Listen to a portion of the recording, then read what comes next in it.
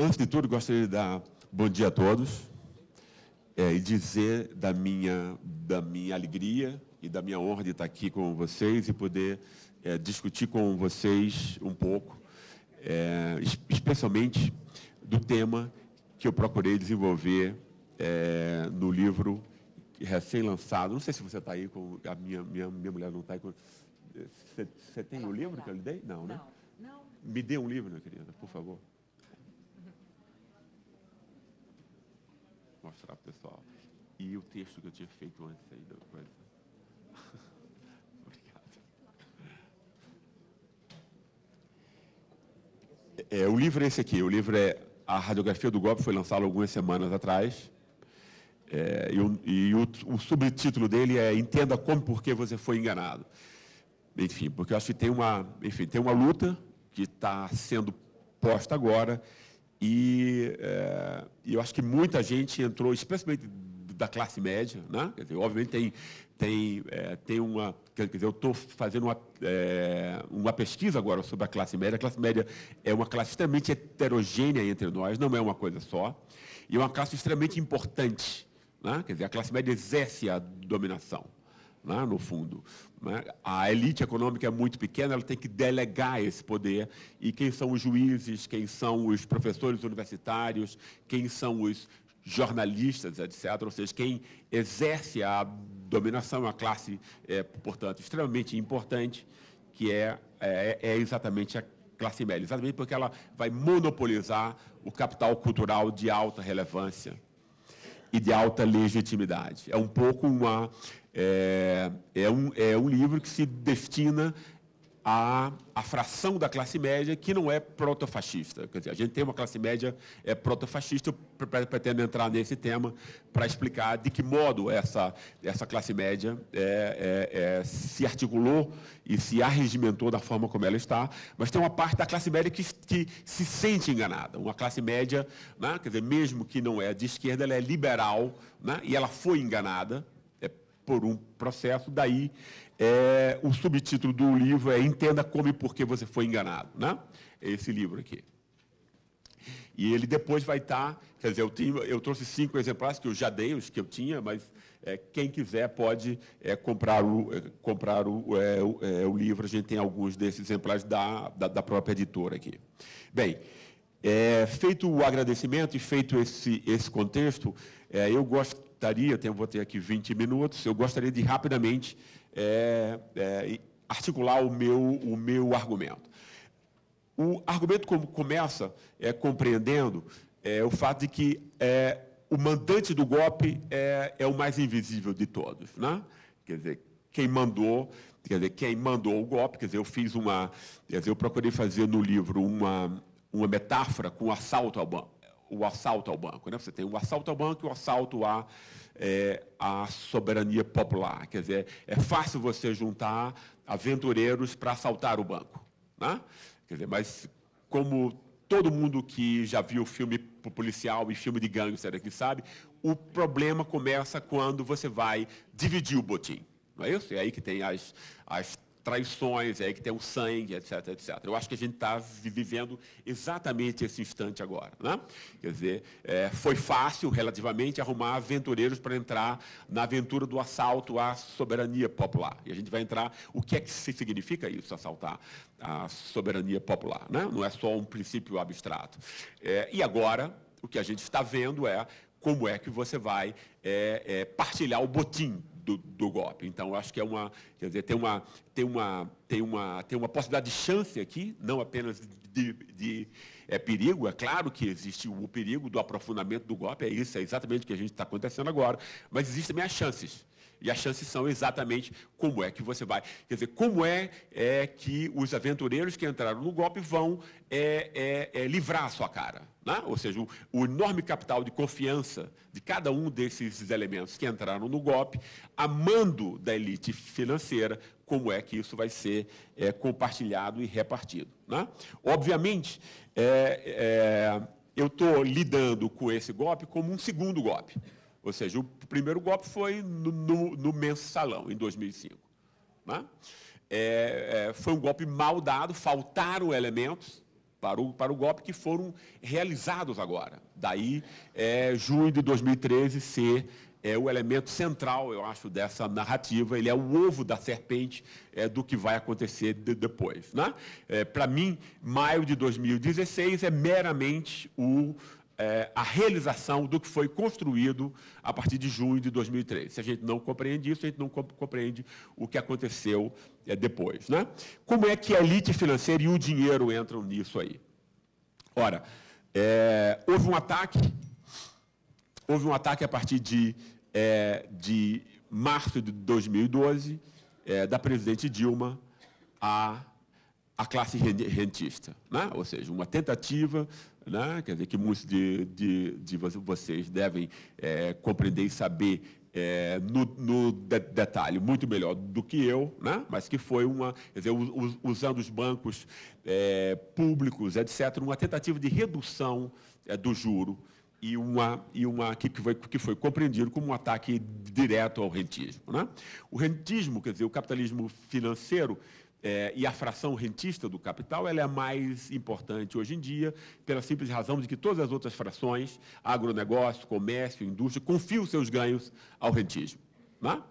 A própria produção né? quer dizer, do que se chama hoje de ajuste fiscal, ou seja, um ajuste fiscal que é compreendido, como nós estamos vendo, né? como cortar é, educação e saúde da, da população, no fundo, ela tem a ver, antes de, de, tudo, com o fato de que, como a elite comprou o Congresso, ou seja, a, sua, a, a grande maior, maior, maioria deles, né?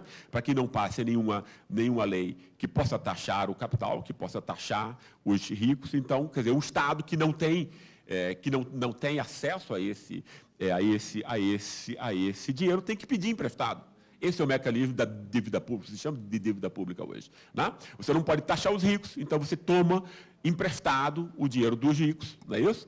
É, e nós vivemos hoje o quê? Uma, é, uma dominação econômica que tem a ver com é, o juro, que não é compreendida pela população, acho extremamente importante que, é, que seja, né? ou seja, todos os bens e serviços né? que cada um consome, né?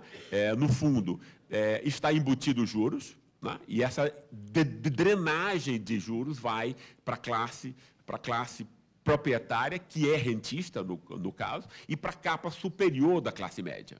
Né?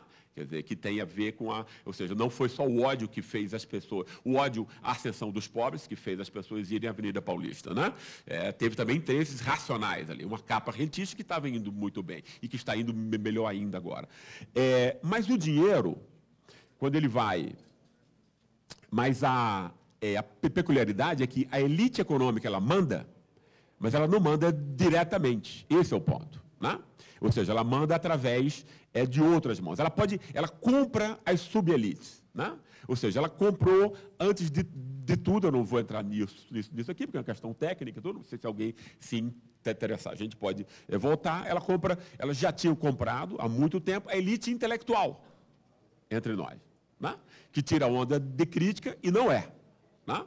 É essa elite que criou a noção de Estado patrimonial, que demonizou o Estado e que tornou invisível a corrupção legal e ilegal praticada pelo mercado. Isso foi um produto né, é, é, de uma elite intelectual que foi é, que a esquerda sucumbiu a ela, sucumbiu à sua narrativa.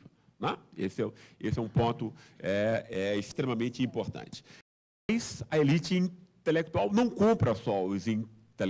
Né? Ela compra é, também o, com, o Congresso, via financiamento privado, e ela compra e, é, quer dizer, a, a relação com a mídia ela é mais, ela é mais complicada, porque ela é comprada em parte, né? mas ela, ela faz parte desse, ela faz parte dessa mesma elite, né? ou seja, as, as cinco grandes famílias que é, é, é, controlam a mídia entre nós já são parte é, dessa mesma elite. Ou seja, esses interesses aí articulados conseguiram montar é, pela seletividade da corrupção estatal, ou seja, primeiro, quer dizer, primeiro a grande, a grande mentira aí é, é, é é, é, perceber a corrupção como sendo localizada no Estado, que é um completo absurdo, né? completo, absurdo, quando a gente tem é, evasão fiscal é, em paraísos fiscais, etc. E quando, quando a gente tem mecanismos né, que, são, é, que são montados como é, a drenagem do recurso de, do trabalho de, de todo sob a forma de juros. Né? Agora, o que, eu, o que eu gostaria de entrar agora era, era como é que esse golpe foi montado no interesse dessa elite econômica, mas por outros participantes. E aí eu acho que é o tema de junho de 2013 vai, vai, ser, é, vai ser o aspecto principal. Né? E de como a mídia, como a TV, os monopólios de TV agiram como partido político, ou seja, né, na ausência de partidos políticos de elite, com real penetração popular, foi a mídia que cumpriu esse papel. Né? Quer dizer, partido é aquilo que exerce as funções de partido. Quais são as, as funções de, de partido? Arregimentar e convencer. Essas são as duas funções principais que um, que um partido tem. Né? Ou seja, ela tem que tornar claros os interesses das é, pessoas que não são claras, os, os, interesses das pessoas não são claros, por conta disso eles podem ser manipulados. Né? É, e eles foram exatamente é, montados assim. Né? Quer dizer, vejam bem, para que a gente guarde a temporalidade. Né? A guerra dos juros foi perdida em abril de 2013, quando os juros começam a subir, não é isso? Não? É, na ânsia de quê? Na ânsia é, que é de toda a esquerda brasileira, a ânsia da boa burguesia, né? o mito de, uma, de que existe uma boa burguesia, ou seja, aquela que vai, é, normalmente ela vai estar associada a setores da fração industrial, né? porque eles teriam interesse em um mercado interno é, vibrante, consumidor, etc, etc. Né? Ou seja, a velha, a velha a velha ideia, o velho sonho da esquerda de unir né? É, classe trabalhadora e fração industrial da burguesia. Toda vez que isso foi tentado, toda vez isso terminou em golpes de Estado. Isso não é por acaso, não existe coincidência na história. Né? Ah, como foi, como isso foi montado agora? Né? Quer dizer, não houve apoio de é, nenhuma fração é, proprietária real. Né? Ah, quer dizer, eu lembro que a Fiesp fez uma carta formal né, de apoio em março é, de 2013, mas quando a, quando a correlação de forças mudou em junho, já se pintou de verde e amarelo é, na Paulista, já em junho de é, 2013. Né? É, o que foi que aconteceu nas manifestações, que eu acho extremamente importante de, de que a gente compreenda aqui. A, é, a, as manifestações de junho construíram três aspectos que não existiram na primeira tentativa de golpe, que foi, um, que foi do mensalão. Né? Ah, quer dizer, que elementos foram esses? Não existia no mensalão uma base social para o golpe que saísse às ruas. Isso não existiu. E é extremamente importante. Né?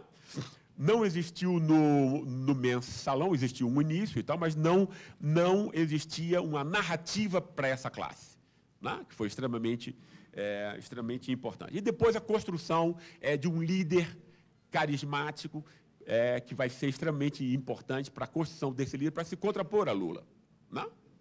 que é o único que é o único grande líder é, que era é, antes dessa construção o único grande líder é, popular, né? A, a, a, a, classe média conservadora não tinha um líder, né? não tinha um líder efetivo. Como isso foi construído? construído. Ora, como todo mundo sabe, no começo, é, quer dizer, eu fiz uma análise dia a dia do Jornal Nacional. É extremamente é incrível, porque eu não, como eu não vejo a TV aberta há muito tempo, claro, porque isso embrulha o estômago, a, é, eu tive como, como pesquisador faz, refazer esse, esse caminho. E é incrível, porque, por exemplo, quer dizer, no começo, quer dizer, quando estava ligado né, a, é, ao movimento, a movimentos é, populares de é, diminuição do transporte, transporte urbano, todos, todas as questões municipais e localizadas, municipais e, e locais, né, portanto, né, é, é, é, é as manifestações eram, é, eram percebidas como as atuais são percebidos, de vândalos, etc. Você punha é, quebradeiras, ou seja, legitimando a repressão. Não é isso? É, ao mesmo tempo, quando as, as, manifestações foram aumentando, especialmente a partir de que é, jornalistas começaram a ser atingidos, etc. e tal, né? É, e outros setores começaram a entrar, é, passou-se na cabeça né, é, de quem estava é, montando, montando essa narrativa, opa, isso aqui tem um potencial que a gente não está, não está vendo. Né? É, e foi construído essa narrativa, ou seja, né, é democracia e tal, está acontecendo, né? quer dizer, e há, e há noção de uma corrupção em abstrato ainda. Né? Quer dizer, essa é, esse tema da corrupção estatal, ele já estava montado, ele foi montado por nossa elite intelectual, ele foi ensinado para todas as pessoas nas universidades e nas escolas, e a mídia montou uma vulgata disso. É extremamente importante isso, né? porque jornalista não constrói, a visão de mundo que ele está montando. O advogado não constrói isso, o juiz não constrói isso, são os intelectuais, especialistas que constroem isso, né?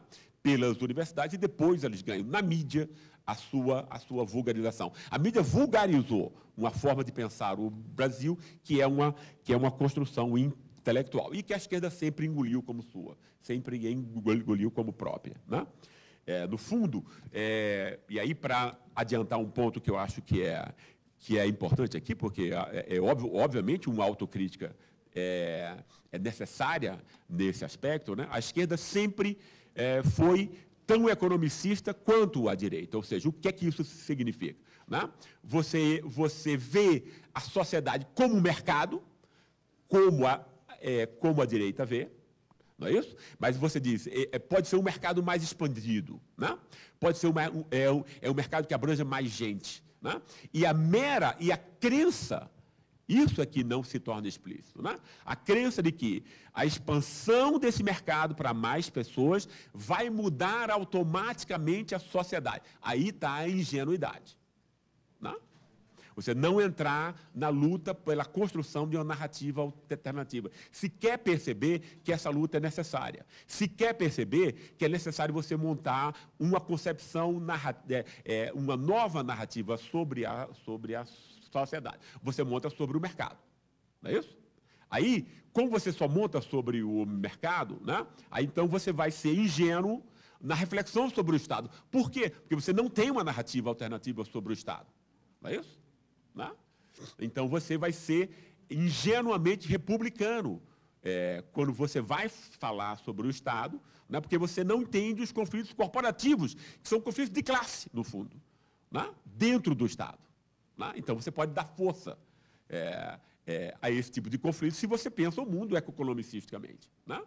e não é, sobre um paradigma né, é, de uma luta de classe que não pode ser percebida também só é, de modo econômico. Né? A luta de, de, de, classes ela é política e tal, e ela não tem a ver com a economia, não tem a ver com renda, não tem a ver com a ocupação, tem a ver com a formação das pessoas familiar. A formação das, das classes não é econômica, ela é afetiva e emocional, e depois ela, ela tem resultados econômicos na maturidade. Enfim, é, dito isso, como foi que é, se construiu essa base social é, do golpe? É, como não houve uma narrativa, eu acho também, para as classes, para a extrema, para a grande, para a grande vitória que houve desses 15, 15 anos. O que foi que aconteceu nesses 15 anos? Houve uma ascensão social no Brasil histórica, que nunca houve antes, ponto. Né? Ou seja, a grande questão é, brasileira, que é o combate à desigualdade, algo que a gente tem do escravismo, não é? e tal, foi combatido, né? quer dizer, havia sido por Vargas antes, mas Vargas fez, o que Vargas fez foi montar né? é, pré-condições institucionais para que isso acontecesse. Né? Jango nunca conseguiu montar, sequer quando ele anunciou, ele foi derrubado. Né? Não é isso? Né? Em alguma medida, com a chave conservadora, os militares né? conseguiram montar uma base é, produtiva que poderia ser usado é, para essa, é, essa, essa reconstrução. Por isso os militares foram derrubados. Não foi uma, não foi as diretas já, não foi um movimento popular, foi, foi um movimento comandado pela elite econômica, né? contra Geisel, contra o PND, né? etc.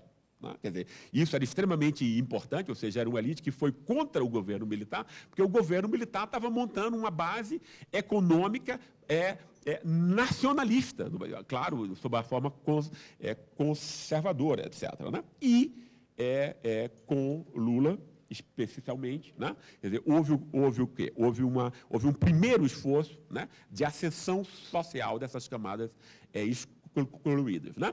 Houve esse projeto, isso aconteceu, mas não houve uma narrativa disso. Né? Não houve uma narrativa disso. Né? Especialmente, não houve uma narrativa, se nós pensarmos no, é, no primeiro, na, na, primeira presidência é, Lula, onde houve os programas contra a miséria, que foi o, né, o, dizer, o sucesso é, tremendo e que foi exatamente na classe é, que eu chamo de ralé, ou seja, para não é, para é, uma forma é, é, provocativa, não para para insultar essas classes, né? E se no segundo governo houve uma, uma inflexão que eu acho mais importante ainda, que foi a inflexão do capital cultural, ou seja, né, é, universidades, eu sou professor universitário, eu sei o que é uma, o que é uma construção de uma universidade no interior do Brasil, isso muda essa região inteira muito mais do que uma indústria automobilística mudaria, porque muda a cabeça, etc. Né? Isso é uma transformação revolucionária. Né? Quer dizer, e ela está tocando não apenas no consumo, ela está tocando naquilo que importa, que é educação, capital cultural, né? para que essas classes possam lutar né? pela distribuição de riqueza e poder, que é o que importa. Né? Todas as outras questões são secundárias em relação a isso. Né? A questão central na sociedade é distribuição de riqueza e poder. As duas coisas estão juntas sempre. Né? Não houve uma narrativa disso que explicasse isso a, a, essas classes. Eu estudei isso empiricamente. Né? Então, estou dizendo, quer dizer, é, o pentecostalismo assumiu essa, essa, ganhou isso de presente, caiu no colo da, é, do pentecostes capitalismo, como se esse avanço tivesse sido né, o mérito individual, Deus, Jesus perto, etc. E tal, para parar. Não é isso? É, é, então, você não teve essas classes saindo às ruas quando você, você precisou. Claro, você não montou a narrativa adequada para elas. Né? É, isso, isso abriu espaço para quê? Isso abriu espaço para que a mídia, enquanto partido, montasse uma narrativa é, é, é contra esse discurso que não havia sido construído. E ela encontrou um terreno extremamente fértil, por, por quê? Porque não havia um contradiscurso sequer a ser contraposto. Né? É, como foi que a mídia construiu isso? Ou seja, essa noção abstrata é, de, de, de, corrupção só pegou por quê? Porque essa classe média, né, é, uma parte preponderante dela, uma, uma parte é, assustadoramente grande da classe média, é, temia odiar, que sempre odiou os pobres, né? tem uma parte da classe média conservadora, sempre odiou os pobres. Não é a polícia que mata os pobres. Né? Ela é apoiado por. A polícia é apoiada, é, ela, ela faz um serviço sujo em nome de alguém. Né? E, ela, e ela faz o serviço sujo em grande medida em nome, dessa, em nome dessa classe média que odeia os pobres. Ou seja, se você massacrar e matar pobres, isso aí é uma, é uma coisa boa, as pessoas comemoram, tem, tem exemplos disso. Né? É, e essa classe estava ascendendo. Vocês lembram todos? Rolezinhos, é, os pobres estavam indo para shopping center, estavam usando a, é, os aeroportos, e todo mundo lembra da irritação, a irritação pré-política que isso causava é, é, nos setores estabelecidos da classe média. As pessoas tinham raiva disso. Né? O negócio é esse e tal, essa gentinha aqui entrando. Ou seja, os espaços sociais estavam sendo contaminados. Né? Agora, a política não é só racional, ela é em grande medida irracional. Né? Imagine, se ponham na cabeça, porque eu vejo isso nas entrevistas que eu estou lendo agora, né? se ponham na cabeça desse cara da classe média, que tem raiva do pobre, que está chateado com ele estar tá dividindo espaços, e ele está pensando o quê? Ora, se esses caras estão agora dividindo o espaço comigo, esses caras podem dividir daqui a pouco o principal, que é o meu emprego e o meu prestígio. Né? Isso é irracional, porque o tipo de capital cultural ainda da, dessa classe trabalhadora precária, ele é, ele é mínimo e ele não concorre, ele não compete com o capital da classe média estabelecida. Mas não importa. A razão não é o aspecto principal. O medo se torna o aspecto principal aí. Né? Então você tem o medo de que esses caras possam agora a vir tocar no seu, é, no que é principal, o seu dinheiro e o seu prestígio. Né?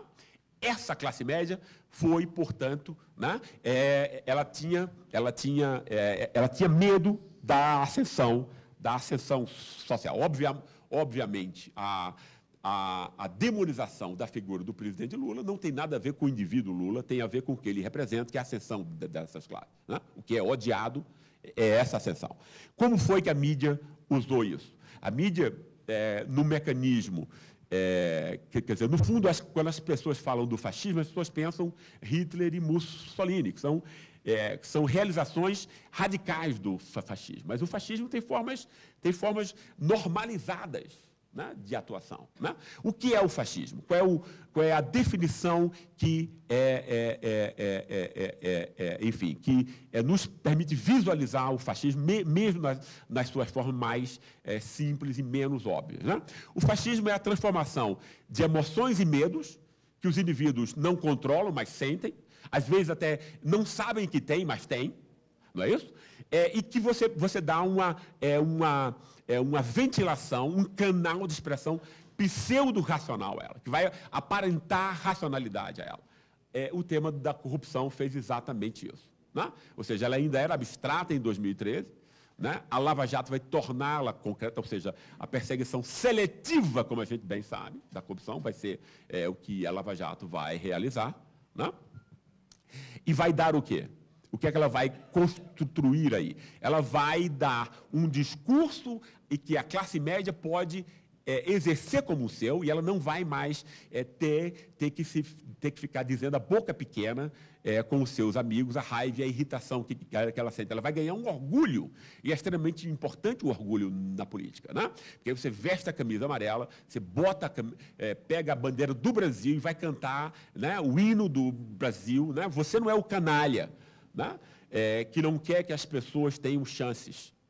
Não é isso? Você é o cara que está lutando por um Brasil moral, melhor, etc, etc, etc. Esse é o ponto. Né? Isso foi criado midiaticamente. Né? No dia a dia a gente pode ver é, como isso foi criado. Ou seja, é, é, é, junho de 2013 foi o ovo da serpente, porque ele criou um agente social que não existia antes, extremamente engajado, né?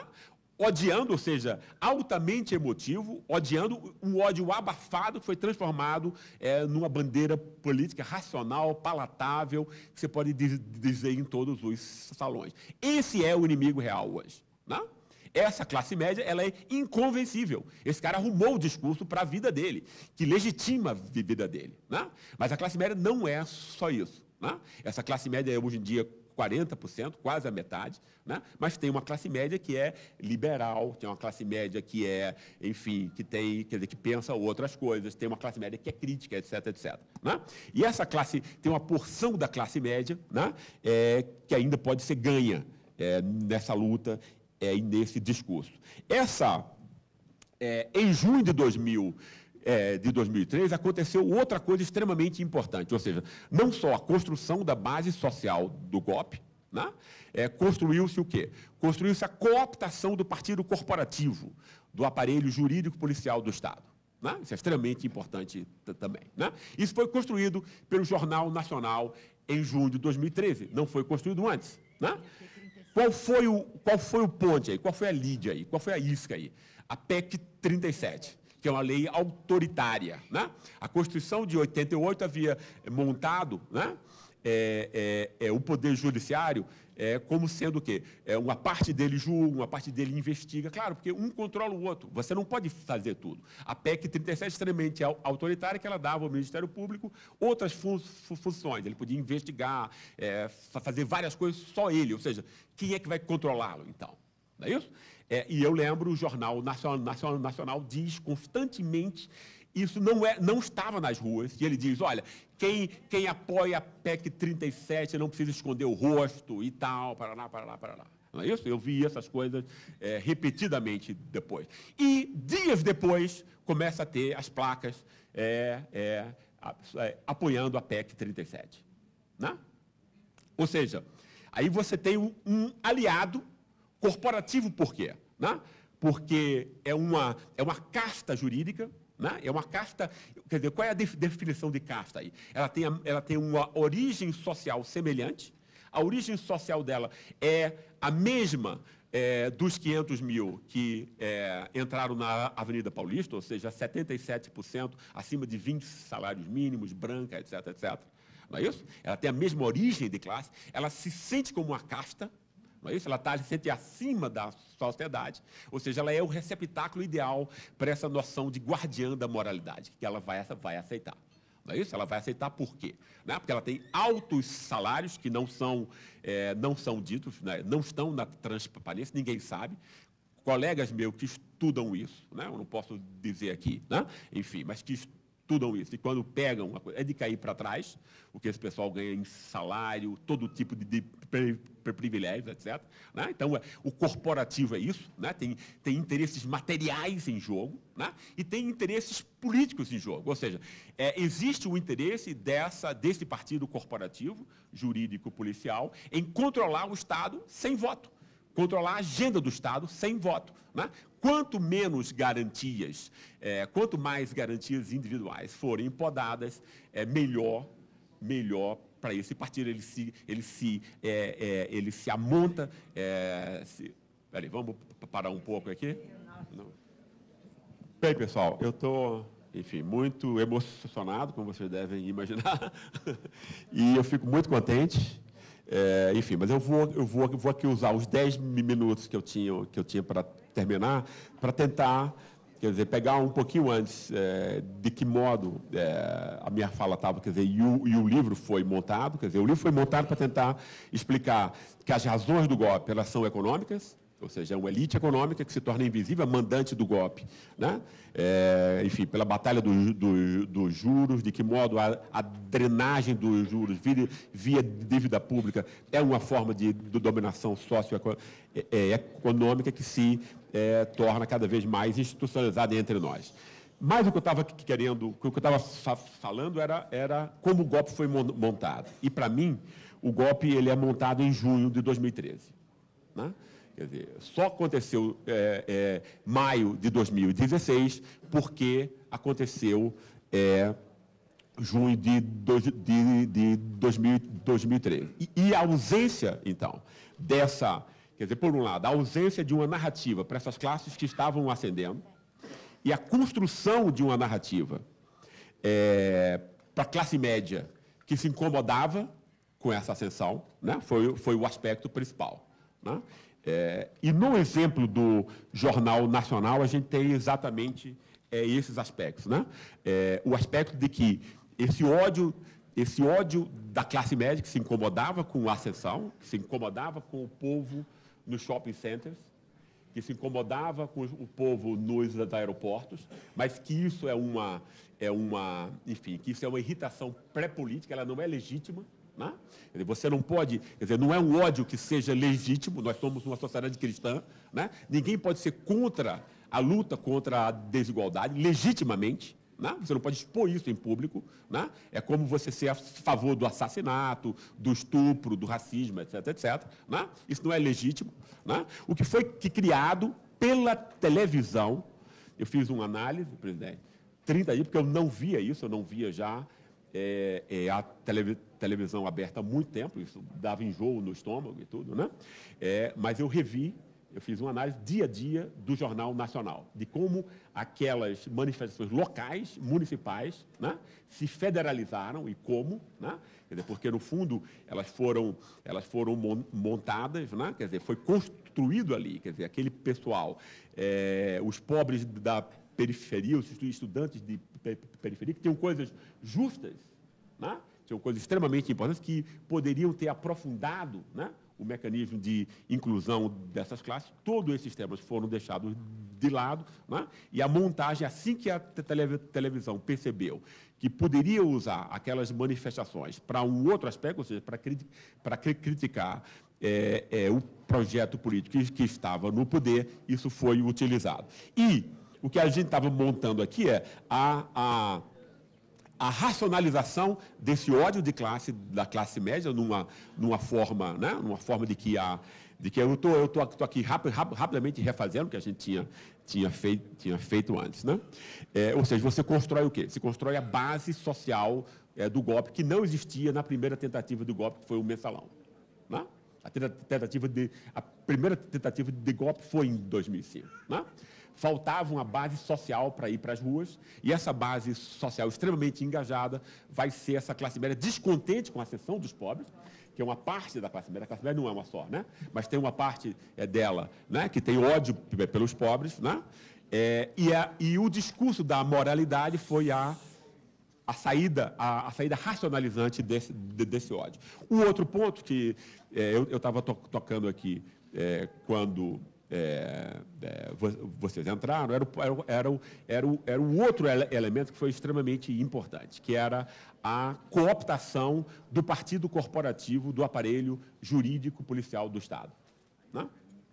A, a, quer dizer, o que, que era isso? Quer dizer, existe uma casta jurídica, ou seja, é, as pessoas que compõem essa casta jurídica, né? quer dizer, eu fiz é, direito, inclusive, na minha na minha graduação, conheço essa história bem. Né?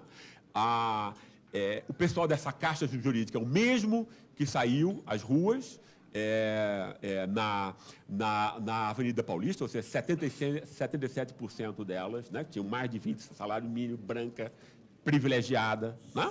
Essa casta jurídica tem ganhos né, que nenhum mortal entre nós imagina, não é isso? Ou seja, tem ela tem interesses materiais a defender, e a melhor forma de defender esses interesses materiais, como sempre, é, é dizendo que esses interesses não são venais e não são mesquinhos, eles estão, é, é, eles serem travestidos de suposto interesse geral, ou seja, então essa casta era o receptáculo ideal para a noção de guardiã da moralidade? Ou seja, uma instituição que iria se ver como guardiã da moralidade, não é isso? É, é, e, a partir, a partir disso, montar uma pauta de partido político. Né? Ou seja, é, se apropriar da agenda do Estado, no sentido de um Estado policial, um Estado que corta direitos individuais. Por quê? Porque você vai aumentar cada vez mais o poder desse partido dentro do próprio aparelho de, de Estado. Ele se apropria da agenda do Estado sem voto. Não é isso? É, mediaticamente. Né? Isso é construído mediaticamente. Né? Ah, ah, isso foi construído a partir do, do apoio explícito, também nas jornadas de junho, à PEC 37, que é uma lei autoritária, né? que é, impede que os órgãos sejam é, controlados entre, entre, si. Isso vai dar, ou seja, a base para todo o processo é, de associação entre mídia e vazamentos ilegais e seletivos, né? Que foi o processo é, é, é, que levou mais tarde ao golpe de 2016. E um outro ponto, claro, é, como a política tem a ver com emoções, e a política tem muito mais a ver com emoções do que com a razão, né? é, não foi só construída uma narrativa abstrata né? da, corrup da corrupção apenas estatal, não é isso? Que é um, é, um, é, um, é um absurdo, como a gente viu antes, né? Porque o que o mercado faz de modo legal e, e ilegal é a real corrupção no sentido de enganar os outros. Né? Ou seja, é, a corrupção é um termo que não é nunca preciso para que você possa exatamente usar é, é, quando lhe for conveniente contra o seu é, inimigo político de, de, de, ocasião. Essa é a verdade. Né?